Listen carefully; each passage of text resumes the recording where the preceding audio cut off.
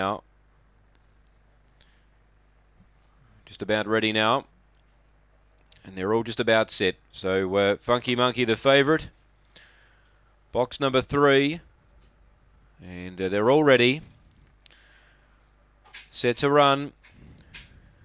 Ready now. Away. Good line out here. Speed extreme whip out wide and there's speed even deeper. Stick figure closest to the rail. Destiny Surfer. It's getting awfully tight and around the Mickey the Fin hit the lead. Destiny Surfer to second. Up on the inside Spring Scorpion. Wider out extreme whip. Deeper still stick figure. Behind them Chris Tyson. Last the favourite here Funky Monkey. It's tight up front.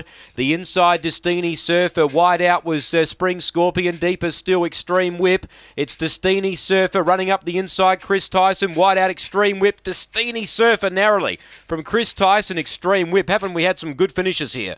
Back in fourth was Stick Figure narrowly from Spring Scorpion and Funky Monkey beat one in, and that was Mickey the Fin. Should be 2 1 6 here. Two Destiny Surfer.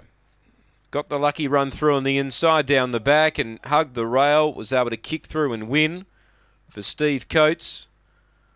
Uh, one Chris Tyson followed him through or followed her through at least anyway. And Extreme Whip, it ran a good race. It covered more ground than anything and wasn't beaten that far.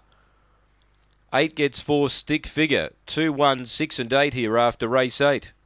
A neck by a head. A neck by a head here. It's two, one, six, eight, thirty-one, forty-six the time.